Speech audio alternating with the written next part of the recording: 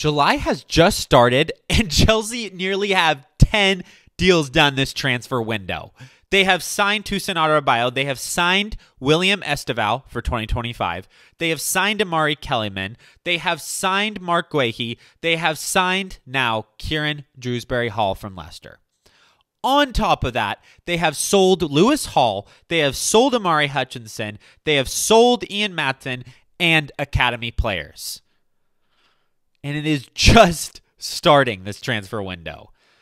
I'm going to be reacting to all of these and giving you the ugly truth about a lot of these deals that no one else is talking about. And I'm going to give you the facts to back it up. Now, before I get into this, like this video and subscribe if you're not already. I just started doing this. I love Chelsea. If you love Chelsea and you hit those buttons, I love that. All right, let's just get into our first player, which is our most recent signing, Dewsbury Hall. I'll explain how I feel about this one with an analogy. It's hot where I live. It's actually right now 110 degrees outside. If I were to go outside and someone offered me a hot, steaming, beautiful cup of coffee, I would say no thank you. It's a great cup of coffee, but it is already way too hot and it is not the right time. It is too hot in the sense that we have way too many midfielders aka this means probably the end for Conor Gallagher, which there's no way he is a good replacement for him. Sorry, I'm not trying to judge him, but that's the truth. And number two, it's not the right time. We just have too many midfielders, right? That's just it.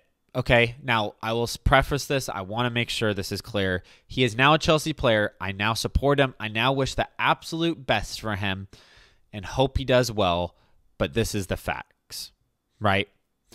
I'll, I'll, I'll give you a quick example so I don't take too long on it.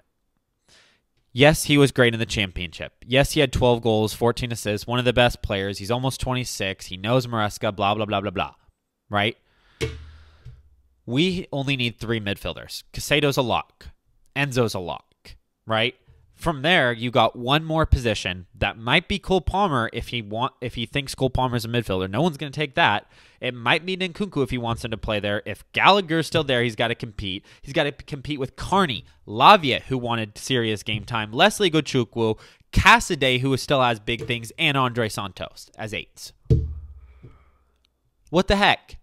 We already have too many players. No one thought we were going to sign a center mid, but we just randomly wanted to become like Brighton and hijack their deal.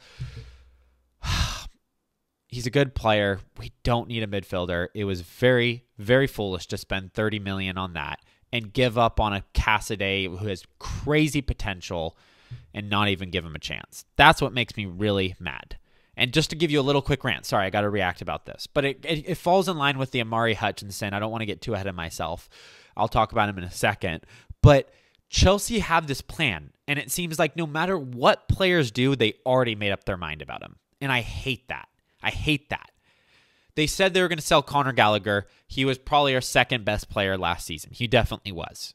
They still want to sell him. They don't care. They're not changing their mind. Freaking Omari Hutchinson went out on loan, won best player of the entire team, one of the best players in the championship, and they don't even want to give him a preseason to see if he would work. They already buy a William Estêvão and ship him out. What what else was he supposed to do to earn a spot at Chelsea? Like they already have intentions behind that, not even giving players a chance, aka not even giving our own Chelsea Academy players a chance, which is infuriating. Oh, it makes me so mad. But we got to just go into everything else real quick because I got to blaze through these. All right. Okay. Tosin Adarabioyo. Let's let's let's lighten the mood up a little bit. Ten out of ten signing. He's older. He knows how to pass. He's a center back. We needed one to replace Thiago Silva, but we also have starter center backs like Levi Colwill, so we didn't need a lot. Great. I'm excited to see him. He brings leadership qualities. Great signing. See? There we go. I was positive during this video. Remember that. Next up, Omari Kellyman. Now, I wrote a whole sheet about things that I hate about this deal. Not him. Remember, same thing about Dewsbury Hall. I'm fully supporting him now, but everyone knows that this was either whatever, you know. I'll pat on you on the back so you can pat me on the back. I don't know what shady thing was going on with Aston Villa, but there is no way on this earth or any other earth in the Milky Way galaxy that he was worth that money. 19 million was an absolute joke. If we bought him in for three, five, even, I would be fine with it. But 19 million is a joke. That's a ton of wasted money.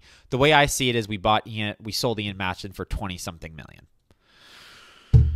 Oh, Let me just go over this real quick. First team starter, no way. I could list you the 20 players that would be in a first team starter if no one was injured. He's nowhere close to there. He's nowhere close to the neck the top 25 players at Chelsea. He's not a first team player. Don't let anyone convince you of that. Next thing, players we brought in, young players that had better experience, more potential than him for less money. We brought in Andrey Santos for 12.5 million. Definitely had more potential. Barcelona him. We bought in Casadei. Well, Casadei also is 15 million after winning player of the tournament at the U20 Euros, being the top goal scorer. Carney was less than him. Deivid Washington was less than him. Gabriel was less than him. It's I'm not even going to get too much into it. Worst deal of the entire summer. Waste of money. Hopefully he can prove me wrong. I wish him the best, but that is just a ridiculous amount of money. There's no way an academy player was worth that. Last fun fact I'll give you about this is like I said, we bought an Aston Villa academy player for 19 million. The last time he played Chelsea in the academy was in April and he lost 4-0 in a game which Deivid Washington scored in.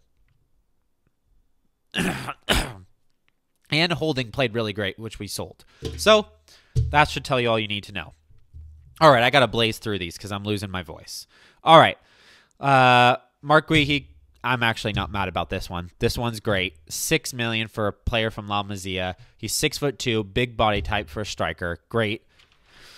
But he's what? Our third or fourth best striker right now. I think he could become really good. I'm really excited about him, but we just didn't need we had already project strikers. So sell them if you don't think they're good enough and then buy someone. Don't have eight project strikers. Um, the next one right here is that all the ones we signed? Oh, William Estêvão We'll talk about him more when he comes, but he's going to be one of the best players in the world. Mark my words. He will win a Ballon d'Or before before 2030. That's a bold take. Anyways, let's go over real quickly the outs because Lewis Hall is gone. You already knew it. I already came to terms with it. I don't really want to talk about it. Omari Hutchinson already said that it sucks that he was insane and didn't get given a chance.